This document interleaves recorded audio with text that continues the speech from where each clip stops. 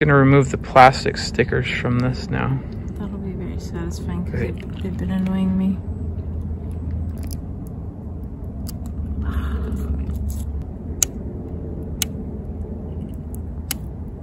That's so satisfying. It's the big one.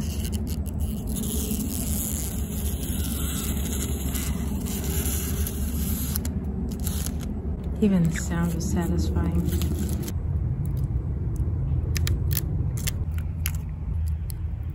The fact that there has to be a warning is ridiculous. The Ones that forgot their We're- ID10T forms. We're more intelligent. We don't need that kind of garbage. That cruise control at seven miles. Well, it's throttling between six and seven. I don't know why. Can't seem to make up its mind. There's some pedestrian. Oh, if you get a slope, it speeds up automatically a little bit. Oh, maybe that's why. Look how crispy and sharp that optic is. That's a nice little headlight. You know, I noticed too that the the light on here is like um lavender. It's not blue, it's not green, it's not red. I've never really seen that kind of light lavender color uh, for um, A display. A display. Yeah, to that point. But um, aside from that, yeah, I, I just gently let go while while still having my hands like on it. Isn't the cruise control nice? Yeah, it is. I think that's its best feature, especially if you're on a long trail. That way, like you were saying, you can move your hands around. You don't have to hold your thumb in a weird position the whole time. Yeah. I like the way nine miles per hour feels better than six, but that's not meant as a complaint. It just, by comparing the two, cruising at nine it feels more right than cruising at six miles per hour. Six miles per hour feels a little slow for this. That's about twice walking speed, six miles per hour. Nine Well, is about my- three my times. average walking speed is three miles per hour. Yeah, so that's six is double. average stride and pace.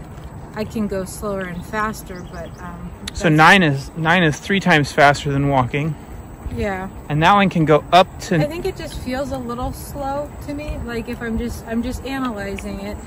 Just this is my experience. Someone else might feel differently. I just It could definitely have I more power. like- I just feel like, um, yeah, cruising speed. I would like. I, I, I mean, I could set it to seven or eight.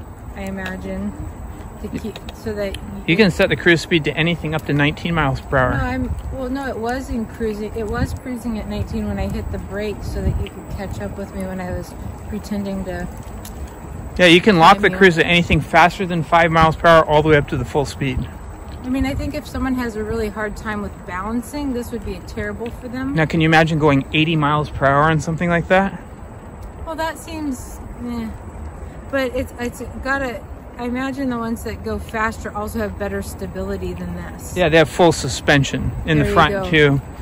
Um, I and imagine for someone who has less, like, um, balance control, I guess, um, and coordination, if they were four, uh, like two small, like not not widely uh, spaced apart, but two tires in front and back, that would give someone with uh, worse balance way better. well, they have rideable trikes that are kind of like that. Right. I'm just anything that would keep this more steady if you were to have to, for some reason, let go. I let go a little bit and I can feel how it, it wants to pull to the left or the right. Unlike the Segway where you can just, Raise the knee bar to steer. yeah. You can see here the exact specification that it's the S2 Pro, has a 500 watt brushless motor, 36 volt DC battery, 11.6 amp hours, a max speed of 19 miles per hour, max load of 220 pounds. My experience. That's my experience. You don't have to hold it tight, obviously, which I'm trying to prove by just having my. I mean, it is interesting that you really can feel all the different little bumps and stuff. Meg agrees that the noise, vibration, and harshness or bumpy feedback. It's not terrible. It's just it's just interesting because it really you can really feel even the little bumps of the road because of the tire design. But it's not. Well, it's not like your last one where like it was jarring even with like the smaller smaller boat. That one didn't have any suspension and the um, tires were just solid urethane. I'm trying to hold it at seven to get it into cruise. Accessing cruise can be a little tricky because you have to hold the speed. Well, and with undulating roadways, it's making it harder. And we noticed that even with the cruise control engaged, if you go down a hill, it'll speed up past the cruise control. I feel And then like that they could polish up the cruise control option. Um,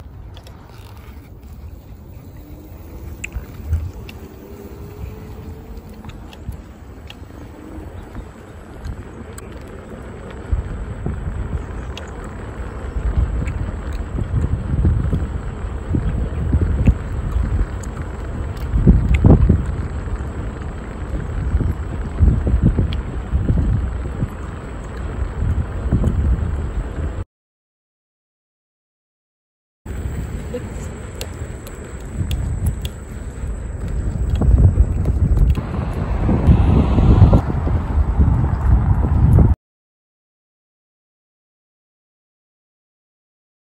Cruise control. On the throttle. Cruise control. Nice highway. The cruise control is really cool.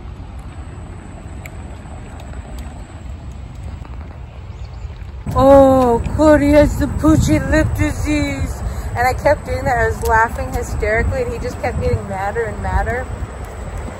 And uh, he was te- retelling the story, and all of a sudden, I just like the flashback of the memory came, and it was hysterical. We, we were recounting memories of childhood. It was just because he's five years younger, so I, I think he was five and I was ten. He said, I didn't realize this till he said it, but he said that when, I, when we were younger, I could really, I was the best person in his life at pushing his buttons. That's pretty famous, man. That's nice to remember happy memories with people. It's even It- funnier when the memories may have been more irritating, but now we're, but upon looking back, it's more humorous to all parties involved. Slow down a little bit so I can get you riding behind me. A little bit more. There's, some, there's something in the I see it.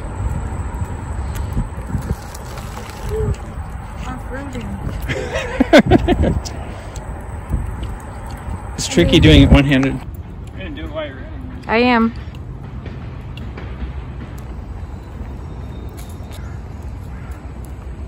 Okay, that's good.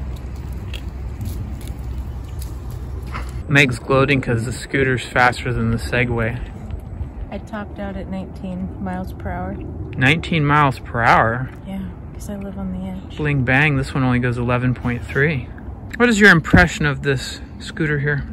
I don't like the thumb throttle the way it's designed because you have to kind of reach to pull down. Same with the, the brake. Um, I actually like this concept better, but that can get tiring too. So, I mean, the nice thing being the cruise control, if you set it like you were saying, think once you get used to it, it's not so bad. Otherwise, um, it can be, it's just it's not intuitive or i mean no not intuitive that's the wrong word. It's just not comfortable for me ha having to reach so far over with my thumb. I don't like the way it feels per se but if you're in cruise control you don't have to do that. You can be more relaxed.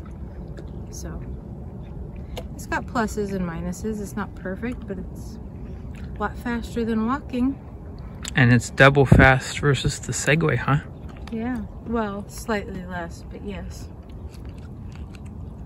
I know I've talked about this a lot in my recent videos, but if you look out here, that's not natural. Look at how much forest fire smoke is in the air. That's crazy. You can barely see to the farm across the valley there. If I go like this and zoom in, there's so much particulate in the air, it completely obscures the view. If we look ahead too, it's like there's fog. That's not fog, that's particles from forest fire smoke. And we're talking about fires that are many dozens of miles away, like 30 or 40 miles or 35 to 50 kilometers east of here in the Cascade foothills. Those fires have been raging on for more than five weeks now because it hasn't rained in six weeks. I'm not blaming climate change, but it's certainly not helping in Florida with the hurricane intensity. It's not helping around here with the forest fires and droughts. My senior environmental thesis was on how climate change was going to make tropical storm systems, hurricanes, and tornadoes more energetic, make droughts last longer, and make flooding more intense and longer lasting. So it makes the weather more extreme. Climate and weather, the climate change means the weather's changing.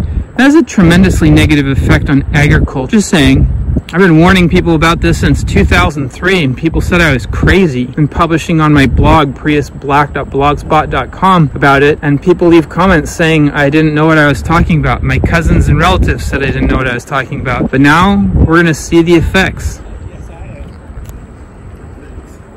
Meg really likes this recently done asphalt, and just like I complimented on the I-90 trail, I want to give King County Trail Systems an A-plus job for making these really nice engineered recreational paths and trails. Today we're using them with the 2022 Hiboy S2 Pro and the 2016 Segway Mini Pro that Meg is riding. And there's lots of people like that that ride bicycles. And we've encountered many pedestrians walking. And this kind of trail gets a lot of use. Now it's so smoky and sooty that there's fewer people out on this random Wednesday afternoon than we've seen before on the weekend. I can't exactly say but I think a lot of people, given how much forest fire smoke is in the air, are listening to the advice from the professionals and health experts on the evening news that are telling people to stay inside, use an air filtering system, something with activated carbon or a HEPA filter, close the windows and doors, don't do aerobic activity outside. They're just warning people because the thing is, this smoke and soot is consisting of ultrafine particulate matter PM or dust and soot, what that does is when you breathe it in, it sticks to your nasal bulb and it can be embedded into your lungs. And so what happens is over long periods of time, if you live in a heavily polluted area like Mexico City or near Beijing where there's coal power or in an area where there's frequent fires or biomass that's being burned crudely in inefficient ways, all that aerosolized soot and particles and particulate matter, what it does is it interferes with the lung tissue. It gets deeply embedded in the alveoli or the gas exchange sacs in the lungs where where there's thin membranes that facilitate oxygen and CO2 exchange so that when you breathe in oxygen-laced nitrogen air, you breathe out CO2. Well, when particulate matter and soot and that kind of stuff gets in there, it jams and causes scar tissue. So it irritates those membranes and it jams up or clogs the respiratory system. So that makes breathing dust from soil, dust from cutting ceramics or concrete, dust from forest fires, dust from smoke, household dust. Any kind of dust is generally speaking bad for human lung tissue. And it causes diseases like bronchitis, emphysema, asthma. Uh, whoa! Uh, I didn't anticipate the e-brake being so intense riding one-handed, but that's my fault. See Meg here. There's Meg on the Segway. Haha, so it's Meg. Ah! It's upright, but where did the rider go? Does it just balance on its own? Is it a self-balancing scooter? Would you look at that? It balances itself. To give you a scale, that's my hand. You can let them crawl on you. I love holding them. They don't bite? No, not at all. They're, they kind of tickle, and I think they're adorable. I think I spooked him. Yeah, he's he's sitting still in case you're a predator. Oh, sorry, buddy these beautiful bright green flowers. How do they smell, Meg? Kind of like honey. Okay, honey. Sometimes I get pollen on my nose from smelling flowers. Well, who, it's happened before. Who knows about that? that was a good pun. So I want to talk to you about toilets and sanitation. There are some portable toilets, and they even have an extra wide one for disabled people. Public toilets like this keep people from leaving human waste along beautiful trail systems and parkways. And I think the cities and municipalities all around the world owe it to the public to install toilets like this or something similar. There's a funny. Ha ha ha. What's funny?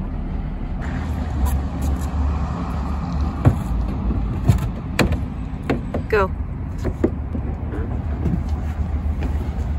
And for my friends that have never seen the inside of one of these, what, what you have in here is a toilet dispenser for toilet paper and a spare roll. That's a hand sanitizer. You see some creative artwork from the most intelligent people. Then there's a urinal here. If we lift up the toilet seat, you can see the blue fluid, which I mentioned in one of my blog postings. That's a sanitization fluid. So the roof has vents up around the top. More artwork from the Jeopardy players that have used the facility. There's a service log here. There's a QR code if you're interested. There's the manufacturer's information in Minneapolis, Minnesota, USA. Satellite Industries. Here's the service company. You can see here they have exhaust vents that allow stinky fumes to exit. They even have a water fountain with a water distribution thing for animals like dogs and cats, mostly dogs. So you can see here, this is for children.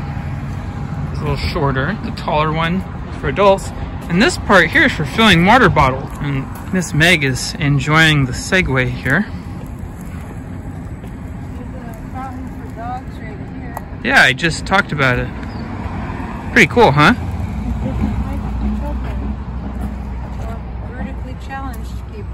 And look here, we even have Lime rental scooters that feature front suspension.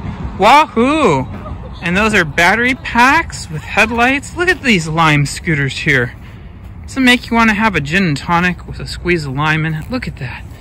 And there's Meg on our six-year-old Segway. Still works great. Good job, Ninebot. You made a good one. Wahoo!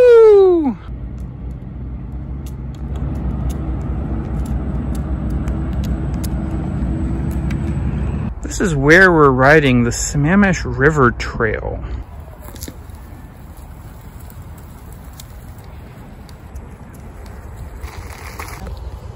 Look at that snake, how they move. That's fascinating. I wouldn't touch him. He's, he's going across. I know, but he's gonna go into the river and drown. They can't swim. No. Come on, baby. I think that's a gardener snake. It is. I'm not scared of him. It's okay. He's scared of me. Oh, sorry, buddy. Come here. He thinks you're trying to eat him. I don't want to eat you. I don't want to eat you. Okay. Look, he coiled up because he's afraid. He's trying to smell you. Okay, love bug. Okay. Cool.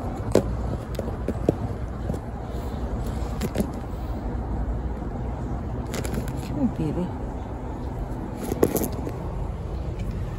I'm not gonna hurt you. I'm just gonna take you with you. Meg likes saving insects from the Oh, look. He, oh, sorry, buddy. He, were, he was hanging on to me. Yeah. I was trying to show you, and then he suddenly changed position. But he would have felt, fallen, if I let him go across, he would have fallen into the water. That's Meg right there.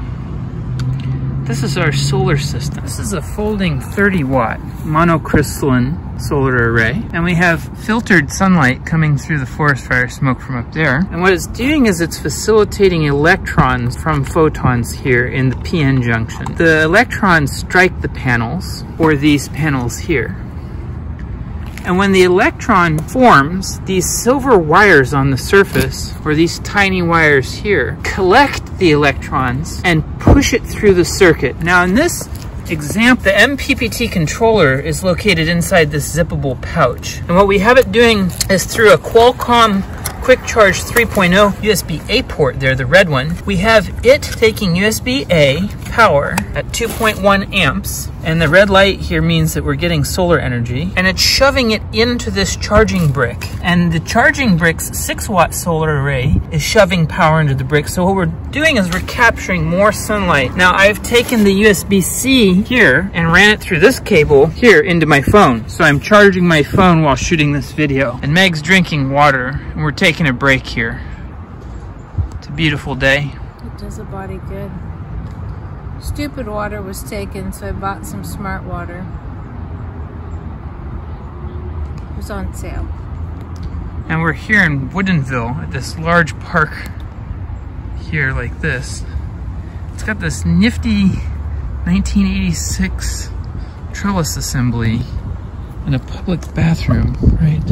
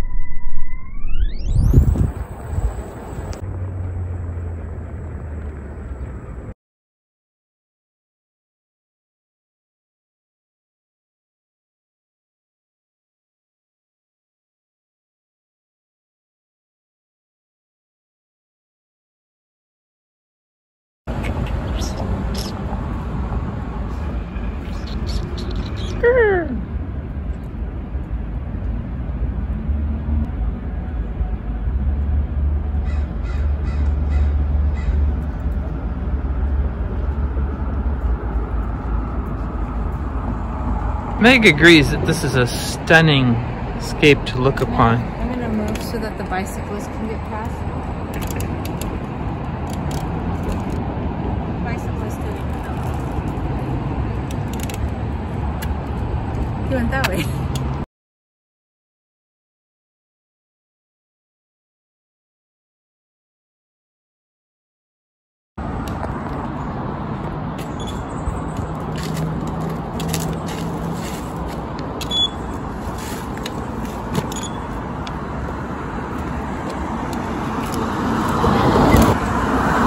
Just checking the tires since I went through the gravel. And check out this windmill right here. There's a logging path that we can go on real quick to get closer to.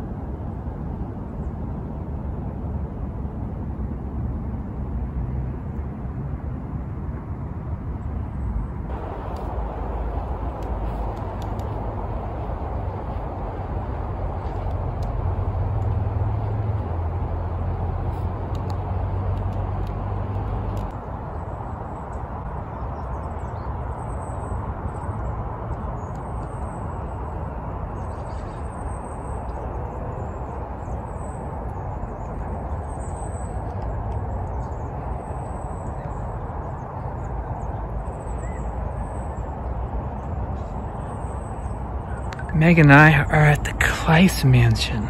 Look at the size of this place. And it belongs to King County.